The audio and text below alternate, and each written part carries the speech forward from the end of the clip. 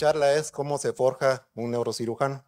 Pero en realidad, cuando ustedes lleguen el momento de tomar sus decisiones en sus diferentes especialidades que elijan, creo que estos principios les van a ayudar. Bien, cuando uno culmina su especialidad y se convierte en un neurocirujano, generalmente toma mucho tiempo para que uno pueda llegar y tener esta, eh, podemos decirlo, puesto en el corazón. Porque esto, cada uno de las cosas que ustedes ven ahí se ha ido forjando a lo largo de los años. Y esto pues lleva un proceso, como cualquier especialidad. Y brevemente les voy a comentar qué pasó conmigo. Yo tuve una inspiración de dos personas muy importantes en mi vida. La primera, mi señor padre, el doctor Julio Pozuelos, maestro de la ginecología latinoamericana, y su hermano, eh, que el doctor Aníbal Pozuelos, que en paz descanse, neurocirujano reconocido tanto a nivel nacional como internacional. Y al final me decanté por lo que era la neurocirugía. Y todo comenzó ahí donde están ustedes sentados en este momento. Solo que no eran unas butacas, sino unas bancas, como había dicho Poncho antes. Pero ese paso por la, por la, por la Facultad de Medicina de la Universidad Francisco Marroquín fue una experiencia inolvidable donde nos, como les había comentado hace un momento, nos enseñan a dar lo mejor de nosotros. Y cuando uno está en el externado, o sea, lógicamente uno pasa las ciencias básicas, uno va aprendiendo muchas cosas, luego llega y lo aplica a las, a las ciencias clínicas y uno mira que todo lo que los desvelos que uno lleva en la facultad después tenía su razón de ser. Y conforme uno va eh, avanzando en, la carrera, al final uno se pone a prueba en el externado electivo. Yo tuve la oportunidad de ir a Tulane a hacer el electivo en neurocirugía y la verdad que muchas de esas cosas que uno miraba aquí se podían aplicar allá perfectamente, entonces uno se sentía como pez en el agua porque esa experiencia que uno gana en nuestra universidad es invaluable.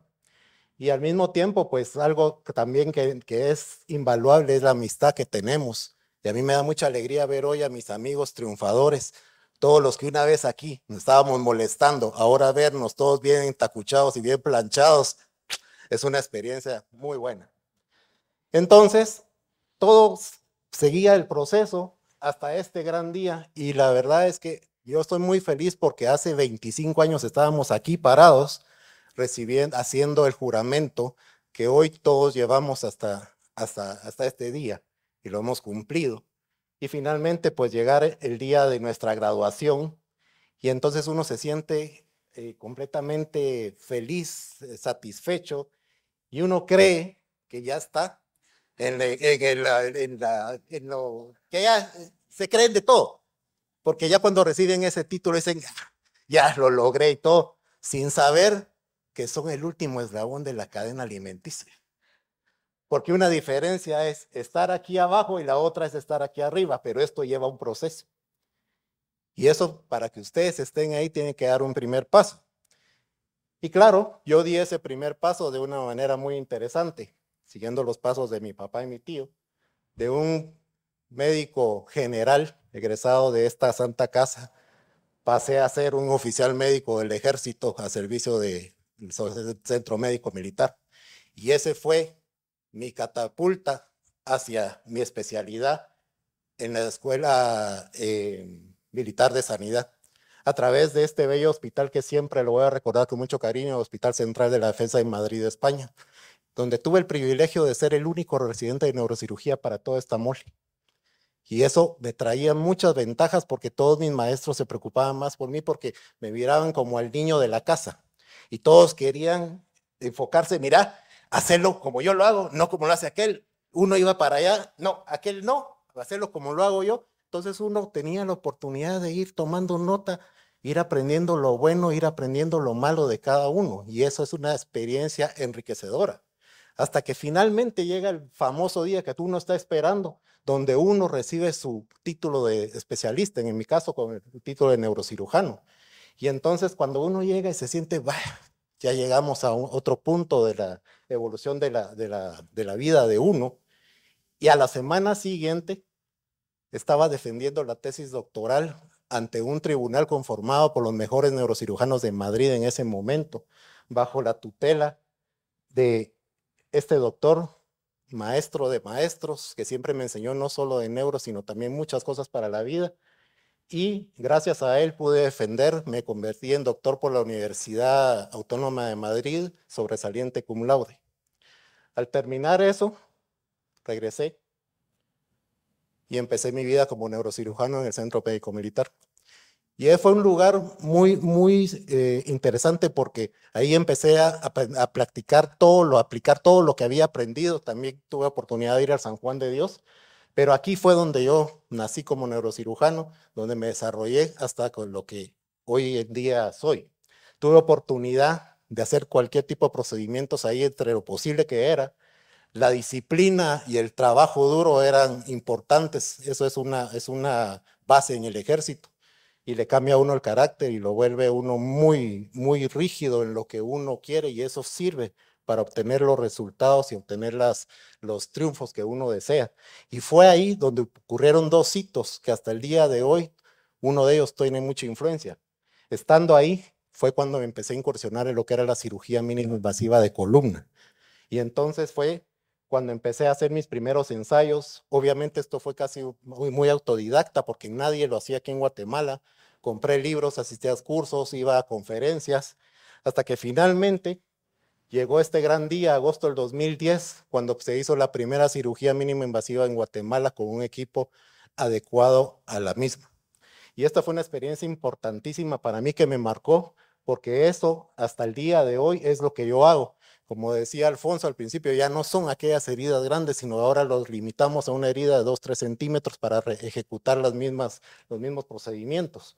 Y esto, conforme fue avanzando a lo largo del tiempo, pues me fui metiendo y metiendo y metiendo hasta lo que hoy hacemos. Y esto, la cirugía, le dio 360 grados a las cirugías de columna en Guatemala y el primero que inició eso, a Dios gracias, pues yo me siento muy satisfecho de haber dado ese paso. Hoy hay más compañeros que siguen y lo hacemos en junto. Y lo otro fue haber realizado la primera eh, radiofrecuencia intratumoral en una vértebra que nadie la había hecho en Latinoamérica y tuvimos el privilegio de hacerlo en el Hospital Militar en compañía del doctor Edwin Leal, que es el actual jefe del servicio de neurocirugía, compañero mío y muy, muy, muy querido por mi persona. Hicimos este procedimiento y entonces después empezaron todas las críticas. ¿Por qué en Guatemala? ¿Por qué no fue en Argentina? ¿Por qué no fue aquí? Se va a vocear. Nosotros dimos el fin. Que allí el que se duerme, le soplan las velas. ¿Sí o no? Bueno. Entonces, pasaron muchos años. Tuve muchas satisfacciones. Tuve muchas eh, eh, tristezas también. Pero al final, uno llega al último capítulo. Y para mí llegó el 31 de octubre del 2018, cuando fue por última vez que me cuadré ante el hospital militar y le hice el saludo. Y me pude ir con la mente en alto, con la frente en alto, mejor dicho, decir misión cumplida. 20 años en el ejército. Y eso pues a uno lo marca, eh, lo, lo, ¿cómo se llama? Es una sensación muy extraña porque luego de estar en esto, pasar a, la, a lo privado, que también es otra satisfacción que, que ahora les voy a explicar, pero haber culminado aquí con la frente en alto es una satisfacción que nadie se las puede quitar. Entonces, ¿ahora qué hago? Me dedico a la neurocirugía privada. Em, siempre sigo haciendo lo que me gusta, la cirugía mínima invasiva de columna. Trato de hacerlo lo mejor, de actualizarme, de ver nuevas técnicas, todo lo que pueda aplicar. Soy un feliz padre de familia con una familia hermosa que son mi motor y mi apoyo en lo que yo hago tengo la honra de representar a Guatemala ante el Comité Ejecutivo de la Federación Latinoamericana de Neurocirugía y ser parte del Comité de Educación de la misma. Soy el actual presidente de la, de la Asociación Guatemalteca de Cirugía Neurológica. Fui presidente de la Asociación Centroamericana de Neurocirugía.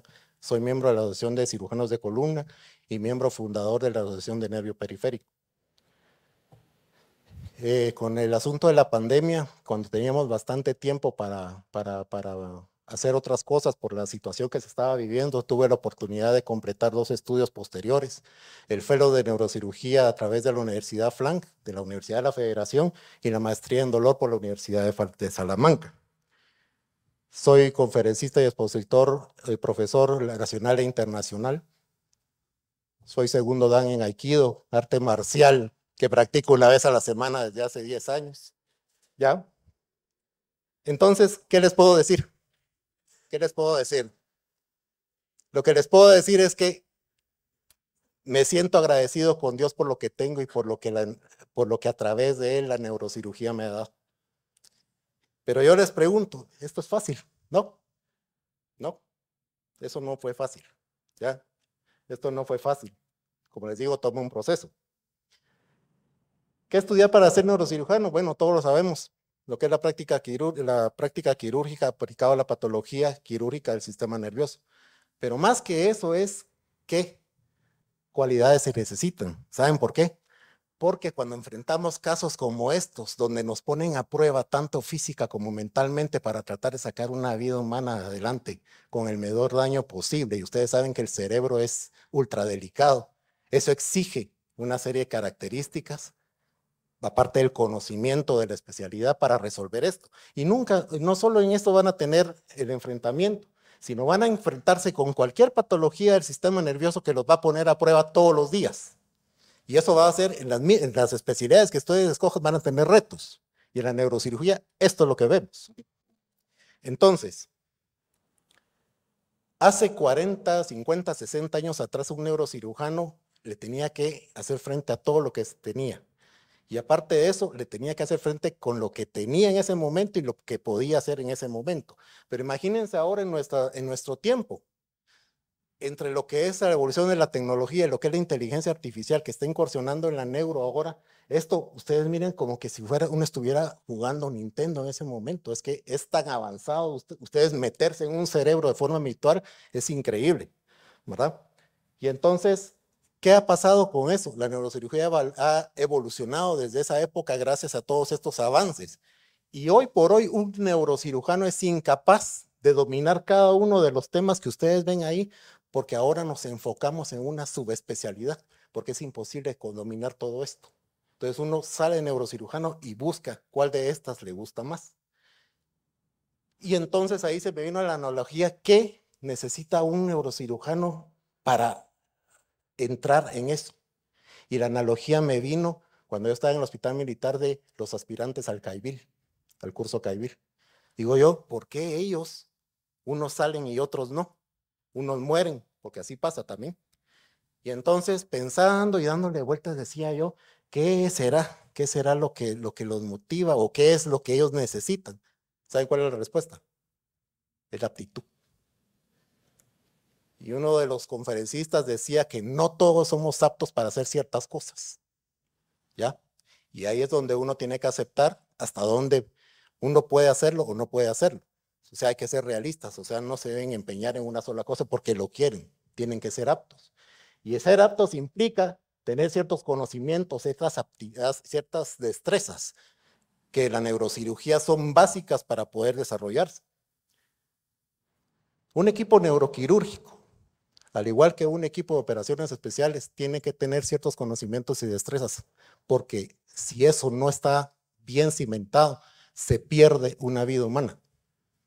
Y cuando es en la parte de neurocirugía, eso pasa muchas veces en el quirófano o en las emergencias. Uno tiene que tener esas, detalles. Entonces uno dice, ¿qué destrezas son?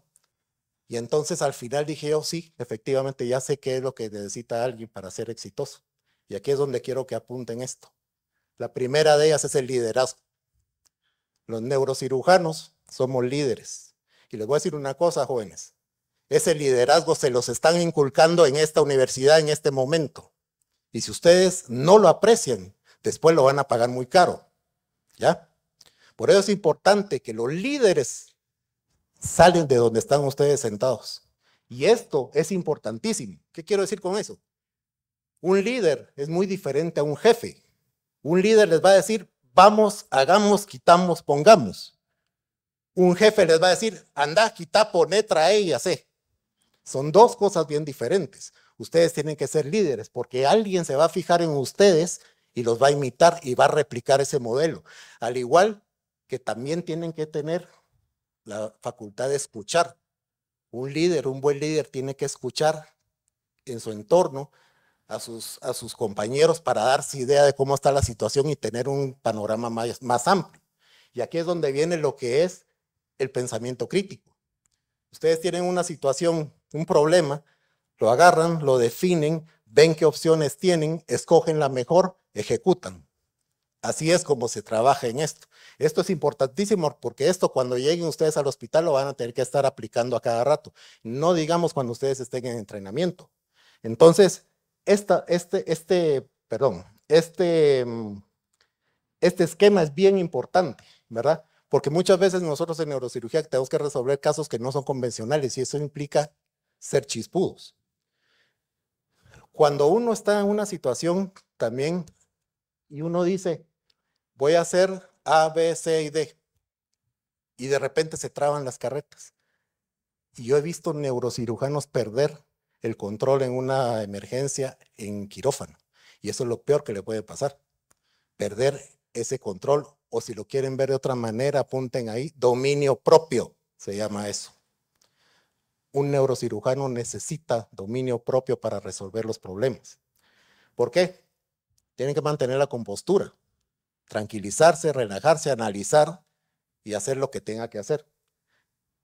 Esa definición que lo decía el maestro Blue, grábensela porque eso es la mejor definición de lo que es la adaptación. Y uno tiene que estar siempre adaptándose a todo momento porque nosotros tenemos un esquema y de repente lo cambia, entonces ya cambia la situación. La paciencia es otra virtud que uno tiene que tener. Desde que ustedes salen y vienen a la universidad y se meten al tráfico y van en cola y todo, tienen que tener la paciencia para pasarlo, tienen que tener paciencia para aguantar a los pacientes intensos, tienen que pasar, tienen que tener paciencia para soportar situaciones que llegan al límite.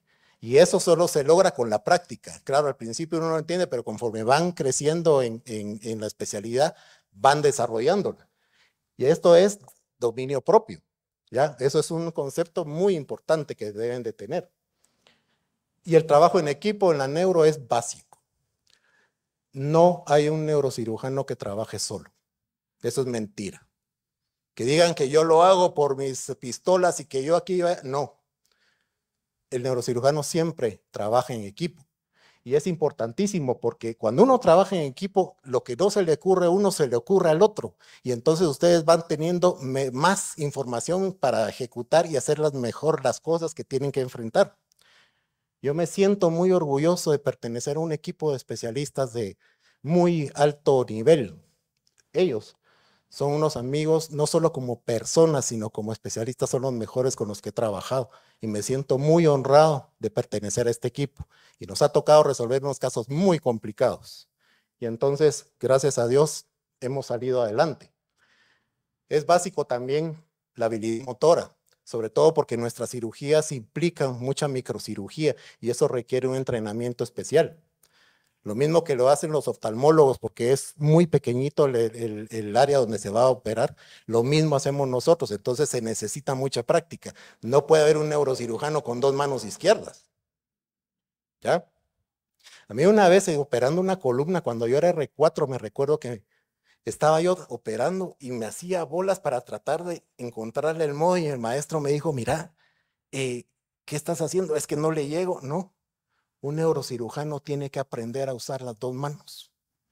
Me quitó el instrumento y me lo puso en la izquierda. Dale.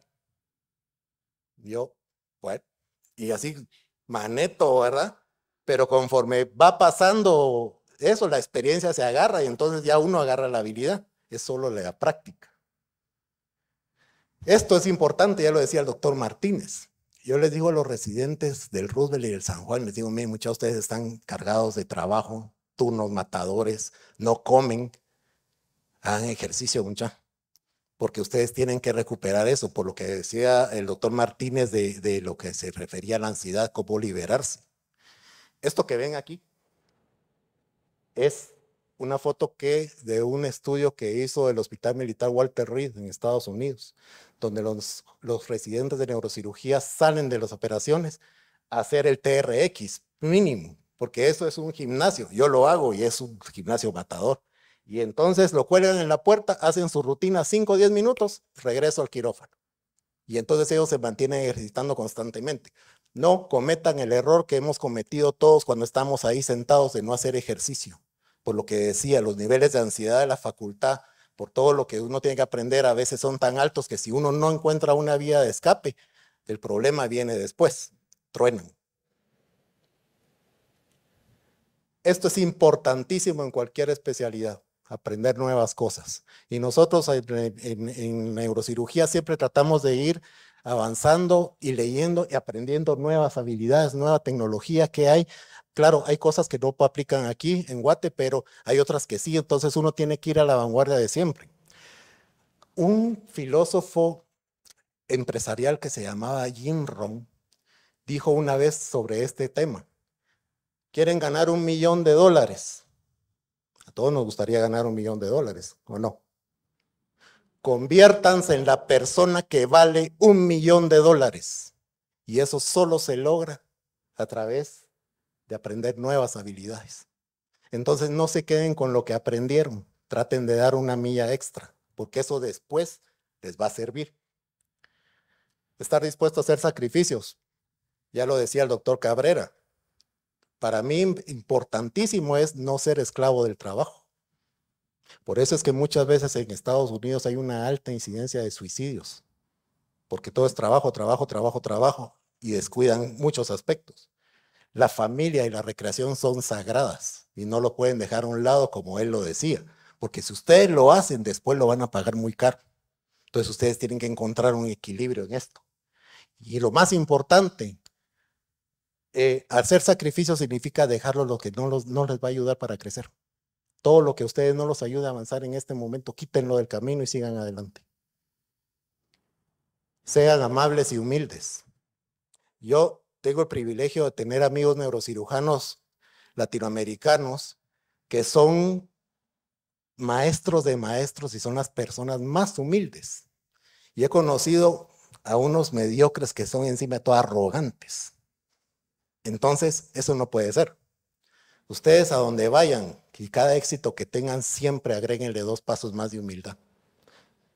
Jesús lo decía, si que quiera ser primero, que primero sea el último y sirva. Nunca se les olvide eso, la humildad. Porque ustedes no saben si un día van a estar aquí llevándose las ínfulas de grandeza y va a estar su padre ahí sentado y se va a levantar y los va a poner en su lugar. Y eso es muy feo, yo ya lo he visto. ¿Ya? Y esto, señores, esta es la base del éxito. Pongan a Dios primero en todo lo que hagan. No somos nada ni nadie si gracias a Él estamos aquí. Si Él no es parte de nuestras vidas, disculpen, pero estamos jodidos. Esto es una idea y es algo que ustedes tienen que meterse desde ya. Algo muy sencillo. Viene un examen. Pídanle a él que los ayude a salir adelante. Está sangrando un paciente, que ayude y que tome las riendas del asunto. Pero no lo pueden dejar fuera de la fórmula. Y eso es un error que se paga muy caro. Y yo les digo, yo he visto verdaderos milagros en mi especialidad. Entonces, ustedes se van a enfrentar a gente que les va a decir, no podés, no servís, no te interesa, sos un aquí, sos un allá. Amigos míos, aquí les doy las palabras mágicas para hacer a un lado a esa gente. Perdone que les hable así, pero en el ejército uno aprende a ser claro y directo. ¿Ya? ¿Por qué? Porque esa montaña que ustedes ven ahí del éxito, esa montaña es dura, es empedrada. Pero cuando llegan a la, a la cima, es lo más increíble, tienen una vista espectacular. Pero lo importante es, o lo hacen o no lo hacen pero no vale el voy a tratar. Sáquense esa expresión de la cabeza. Tomen una decisión y ejecútenla. Aquí ahora hay unos patojos entre ustedes que ya dieron el primer paso. Ustedes saben quiénes son. ¿Ya? Y estos patojos sembraron una idea en su corazón desde ya. Porque esa idea va a seguir creciendo conforme ellos la vayan alimentando. Y como ven allá, el primer camino, el primer el, eh, ¿cómo se llama? El camino de mil leguas comienza con un solo paso. Ellos ya dieron el primer paso en la especialidad. Y van a seguir así. Y yo los aliento a que sigan así. Y los que tengan dudas, regresen un poco, reorganícense y sigan adelante. Y en el camino en tener un mentor. Yo tuve el mío por varios años hasta que partió eh, con el Señor. Y entonces a mí me tocó ocupar ese puesto. Y hoy por hoy, yo me siento muy honrado de ser mentor de unos grandes amigos míos que son exitosos por el esfuerzo de ellos y porque uno celebra el esfuerzo y los triunfos de ellos y uno también llora a la par los fracasos de ellos. Eso es ser un mentor. Y eso es algo que ustedes tienen que tener siempre. ¿Ya? ¿Por qué? Porque bien lo decía el doctor Cabrera. Ayuda a crecer a los demás y cada día serás más grande. Nunca se les olvide este principio. Es una forma de agradecimiento de lo que ustedes, de lo que Dios ha hecho por ustedes, ayudar al que viene abajo de ustedes. No como hay otros colegas que vienen y ¡pum! los patean. Eso no se hace. En la neuro, ustedes tienen que entrar con la frente en alto, entrar a la arena y enfrentar al enemigo sin ningún miramiento. Y eso aplica a cualquier especialidad. Y nunca rendirse. Jamás, porque si ustedes se rinden van a tirar ese sueño a la basura y eso no es justo. Y para terminar, estos son los ingredientes del éxito. Grábense esta imagen. Y también pongan a Dios primero en todo lo que hagan, porque es el que les va a dar el triunfo final. La disciplina y el trabajo duro los va a convertir en unos excelentes especialistas. Pero todo está en ustedes. Si ustedes quieren tomar ese paso, lo tienen que hacer desde ya. ¿Quedó claro? Muy bien. Con eso terminamos.